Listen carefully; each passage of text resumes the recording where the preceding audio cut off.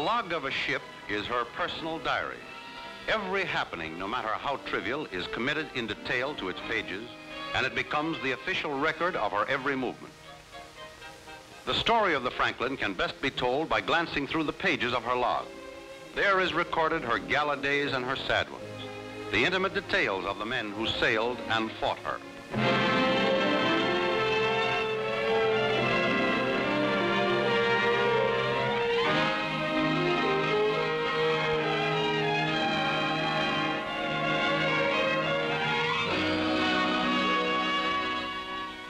When she left San Francisco in February 45, the Franklin was a battle-scarred veteran. She had just been refitted at one of the yards where the Navy proudly licks its wounds and they are healed.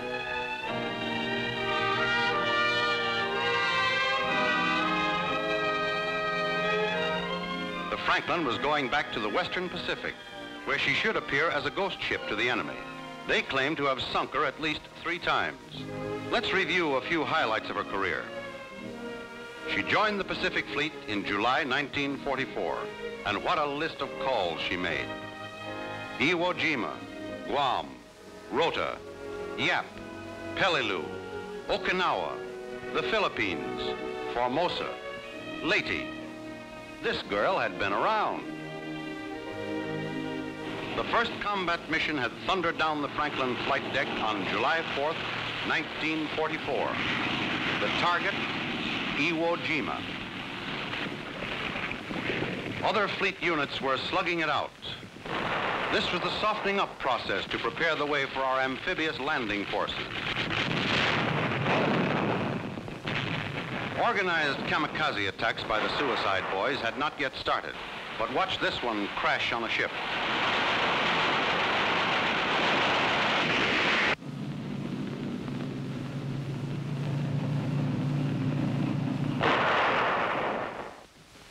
Jap pilots could twist and turn with the greatest of ease, but once lined up in the sights of an Air Group 13 plane from the Franklin, it was usually scratch one meatball.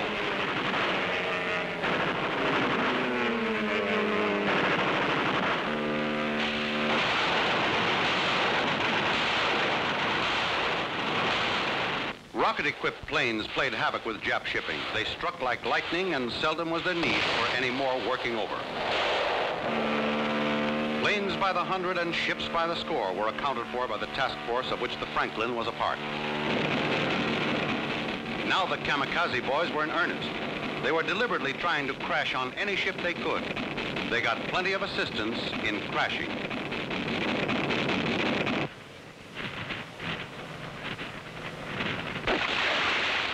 But they were persistent and kept boring in. Often they were too close for comfort.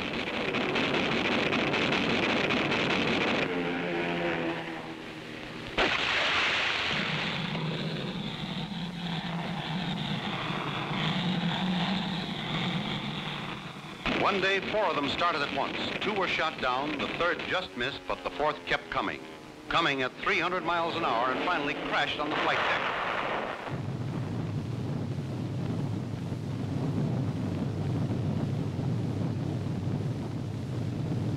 This sent the Franklin back to the States for major repairs. And just four months later, we pick up her saga as she draws up to Ford Island at Pearl Harbor. She didn't create much fuss. Only one small band played Aloha.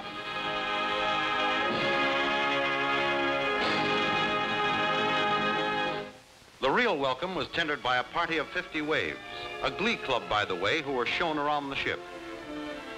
They stayed for the awarding of combat decorations to a returning air group. The presentation was made by Vice Admiral Murray, commander of aircraft in the Pacific. Air Groups 75 and 35 came aboard for refresher exercises in the Hawaiian area. These combat teams and our own Air Group number 5 needed some sharpening up, and they were going to get it. The deck of a carrier is roughly divided in thirds. At the bow is fly 1, center fly 2, and fly 3 at the stern. Fly Officer 1 signals takeoffs. Look out there. If you step on those brakes too hard, you'll wind up on your nose. And this signal means rev it up, more speed. distance changes the towering bulk of a carrier to a slim, graceful ship streaking through the water at 28 knots. The greater her speed, the easier she launches her planes. The white diamond on the wings and tail surfaces identifies the plane as belonging to the Franklin. When coming in for a landing, that carrier deck, 80 by 800 feet, looks like a very small postage stamp on a very big ocean. Setting a fighter plane on a carrier deck is a trick not learned overnight. It takes at least two men, the pilot and the LSO, the landing signal officer. He's a veteran pilot who knows both the plane and his ship. When the approach is not to his liking, he says, keep going and try again sometime.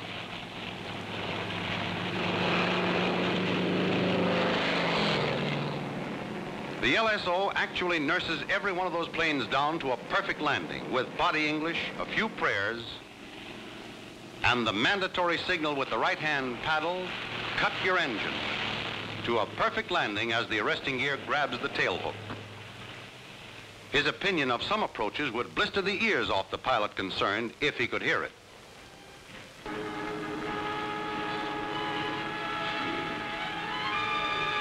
Cut. But up on her nose into the barrier and a new propeller needed.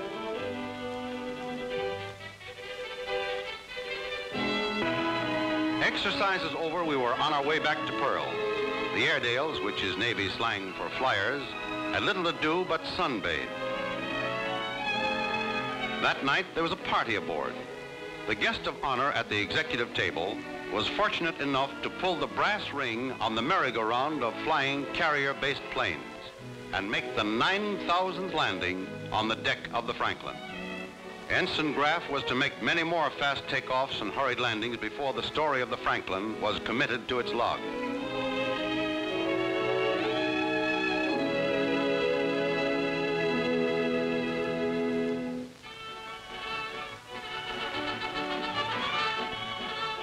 Morning quarters on a flat-top flight deck is a colorful sight.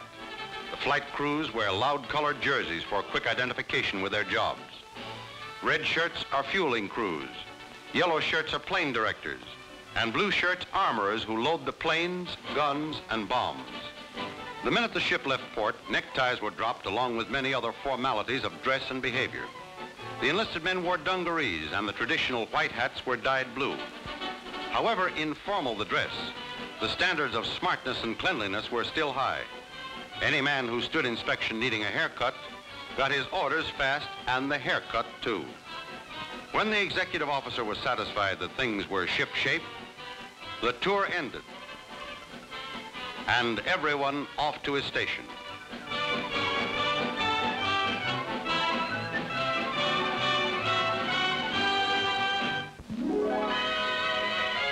The refresher exercises were coming to an end.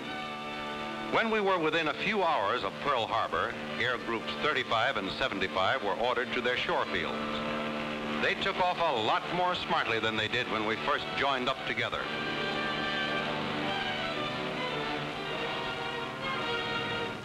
Now they were flying teams, integrated, used to each other and to our ship. They saw Diamond Head long before we did and headed for the Naval Air Station at Kaneohe. Supplies and stores had to be taken aboard, the thousands of varied items needed to stock a floating airfield for weeks to come. The facilities available for rest and recreation in the Hawaiian Islands have long been world famous, and our flyers took proper advantage of them. The wonderful surf bathing at Waikiki, and shooting the beach on mile-long rollers in native outrigger canoes.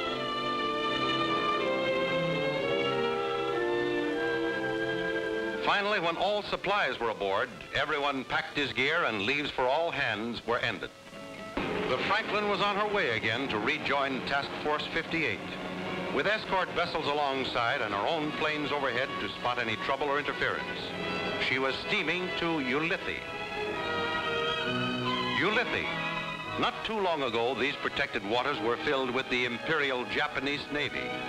Now it was America's secret weapon of the Pacific War, an anchorage large enough to hold the most powerful armada of warships in history.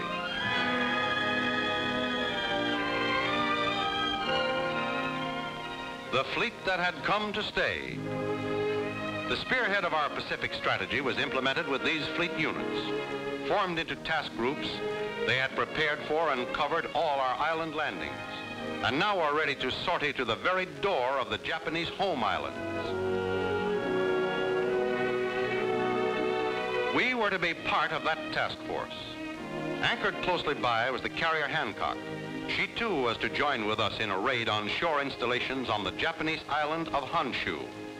The main Japanese islands were four days' journey from Ulithi. We were on our way.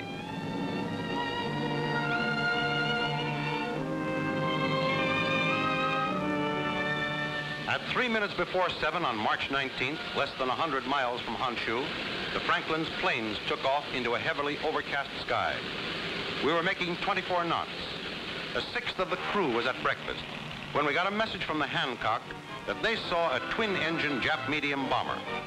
Our plane started looking for him, but he slipped down out of a cloud and laid two 500-pound bombs on our flight deck. 45 of our planes were aloft, but there were 31 on the flight deck and 22 on the hangar deck fully gassed and armed. The first heavy vapor explosion enveloped the stern in flames. We turned into the wind to keep the fire and smoke astern. The Jap bomber had pulled up from his bomb run and was streaking for home when the leader of Air Group 5 got him and shot him down.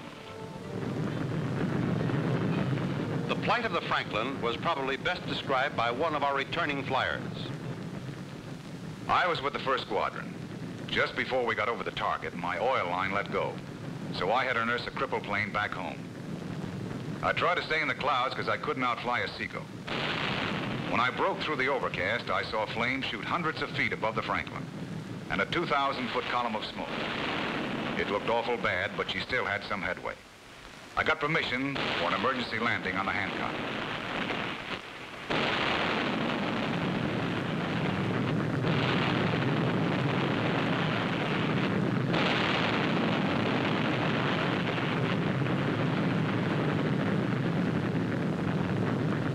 The fire raged as bombs, rockets, and small caliber ammunition continued to explode with increasing violence.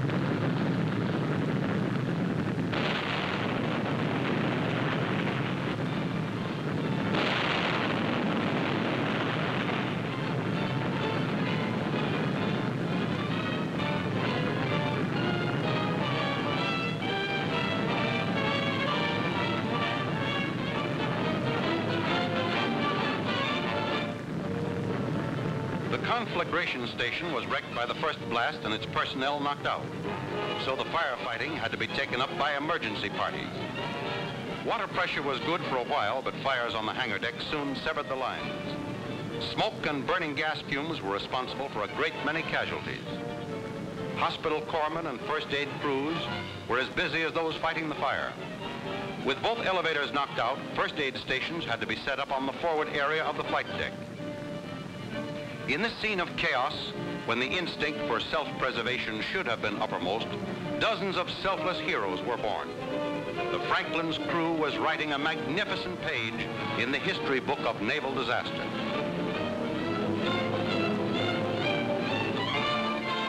The first explosions blasted members of the flight deck crew overboard. One crewman tells this story. I had just finished breakfast and come up on deck. That's all I remember till I found myself in the water swimming. And I didn't have any uniform on. Couldn't see my ship for smoke. She seemed to be blowing herself to pieces.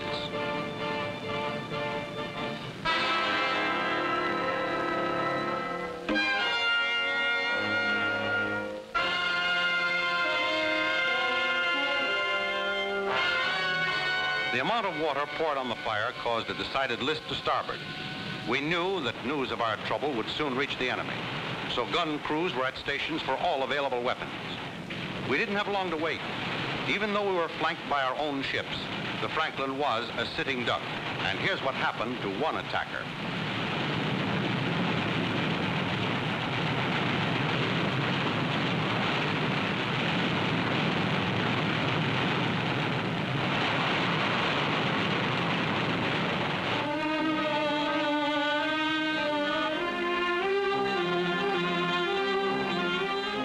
Santa Fe came alongside, pouring all the water she could pump.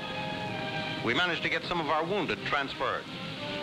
The Franklin was now dead in the water because engine spaces had to be evacuated on account of smoke, and the only power we had was from one forward emergency diesel generator unit.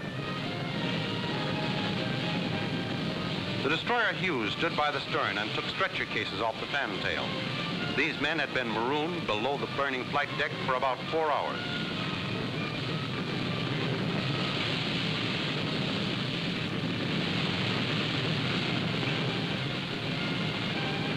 Several decks below the waterline is an emergency steering station. Here's a report of what happened there. I was the quartermaster on watch.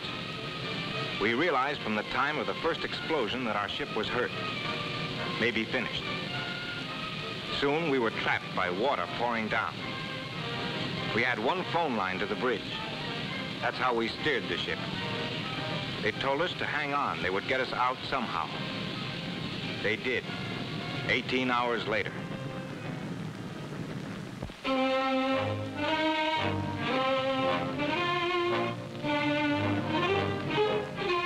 With compartments flooded to even her keel, a tow line was passed to the Pittsburgh. Twelve hours after the tow began, the Franklin started under her own power. She had been hurt by the enemy and buffeted by fate. She had drifted a hulking wreck incapable of movement to within a few miles of the Japanese coast. But now she was steaming under her own power, manned by her own crew. As soon as decks could be cleaned, the survivors met in prayer for those less fortunate.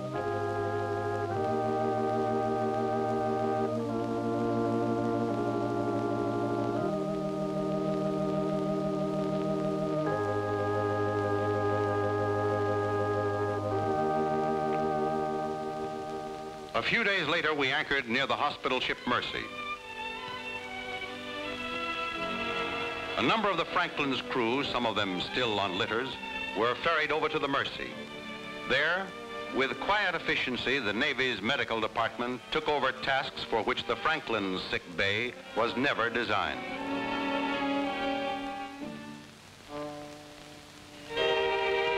In such a hell as the men of the Franklin lived through, more than flesh can be seared. There are sights to be forgotten, experiences which must be erased from the memory. These are the things a chaplain must help them to accomplish.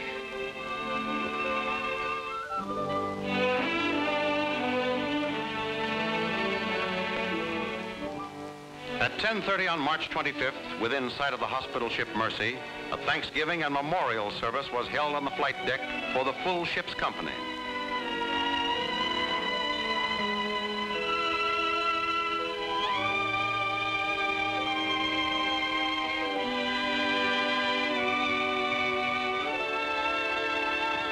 The skipper, Captain Gehres, concluded the memorial ceremonies with a short talk which added up to, well done.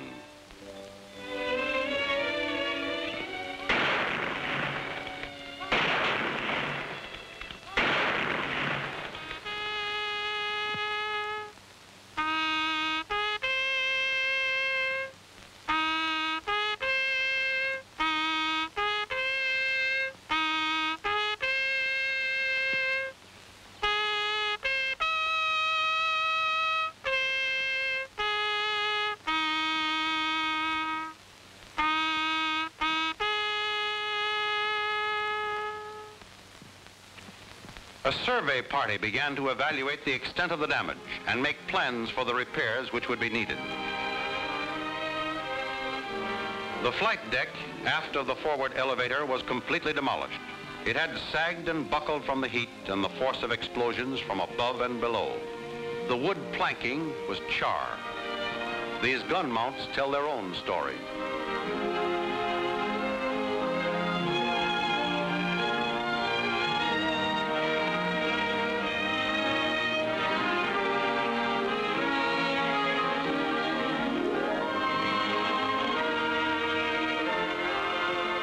Under escort, we were on our way back to Pearl Harbor. From certain angles, the old girl didn't look bad. Her masts were askew, but she knifed through the water with some of her old spirit. All the while, debris was being jettisoned. Anything that could be moved was given the heave-ho. Pearl Harbor again. It's hard to remember that we entered this same channel only two months ago. We were on our way west then. Again, we were greeted by the same group of waves. Her banner was canted, and it waved over more rust than paint, but it was still there.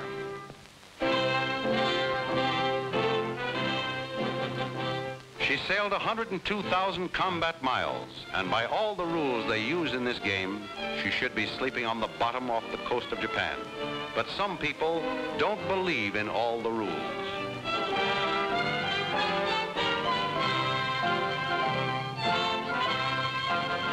Ten days later, on the 9th of April, the Franklin entered the Panama Canal.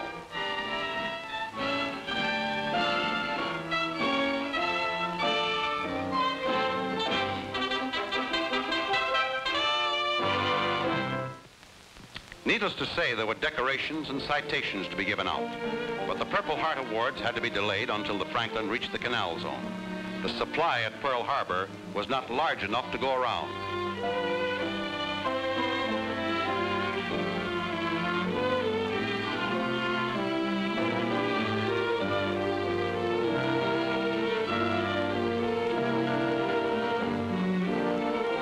Journey's End. 704 men sailed her 13,000 miles, the most heavily damaged warship ever to reach port under her own power. In New York Bay, the Whistle Brigade, from deep-throated liners to the family motorboats, screeched a welcome to one of the Navy's great fighting ladies in all her rusty and battered dignity.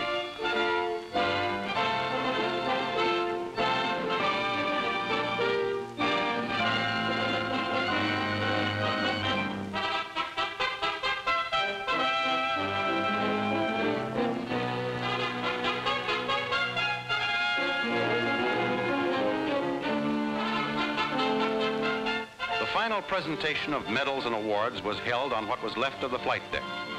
This was probably the most decorated crew that ever sailed a Navy ship. Every military honor within the power of a grateful people to bestow was worn by these men. If you ever meet a crewman of the Franklin, you'll know he belonged to that band of heroes who brought a lost ship back to port.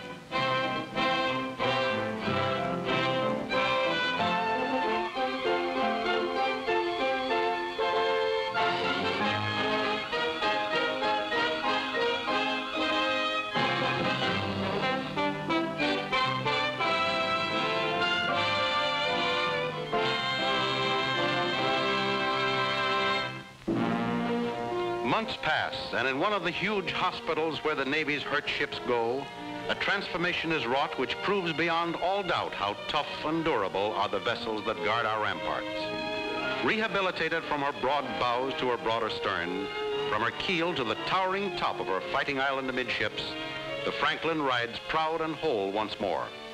A fierce phoenix risen from her ashes, her guns and machinery sealed against inaction, but ready on short notice to defend the peace they so gallantly won through war.